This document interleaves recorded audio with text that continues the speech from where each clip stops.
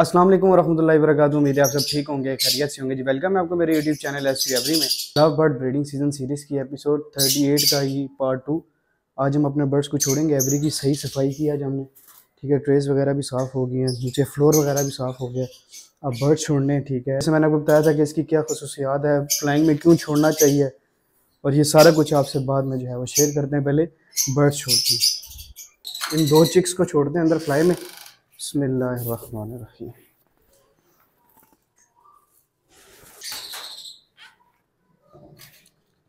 अभी अल्बाइनोस की बारी है। ये।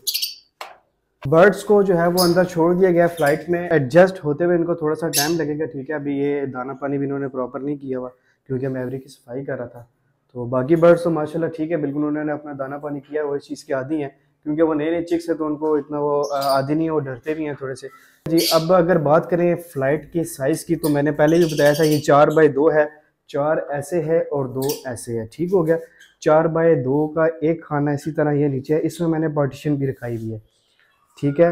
मैंने आपको बताया था कि जैसी चेक अगर आपका सेल्फ होके आता है। आप उसके पेरेंट्स उससे लहदा करते हैं। सबसे पहले उसको मैं छोड़ता हूँ इस केज के अंदर। ठीक है? सबसे पहले वो इस केज के अंदर आता है, फिर उसके बाद वो नीचे वाले केज में जाता है एंड देन फिर उसके बाद वो इसमें आता है, जिसमें पार्टीशन लग जाती है।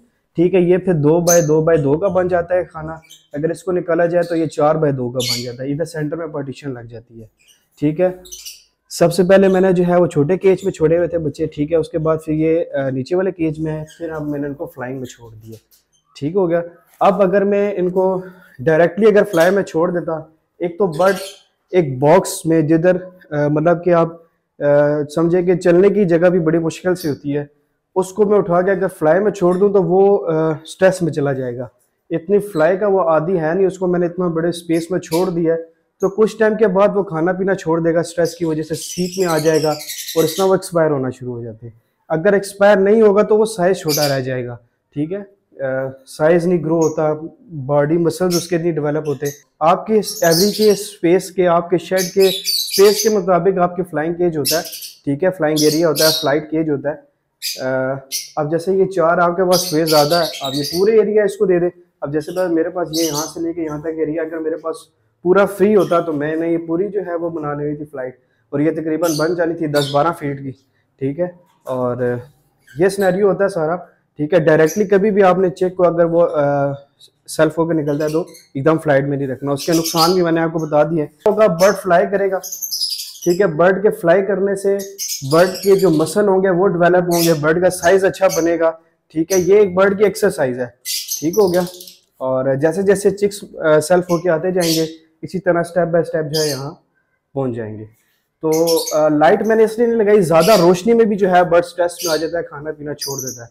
तो हम कोशिश करेंगे कि लाइट लगाएँ, लेकिन इतनी ज़्यादा हैवी लाइट ना हो, जिस वजह से बर्ड जो है वो स्ट्रेस में चला जाए।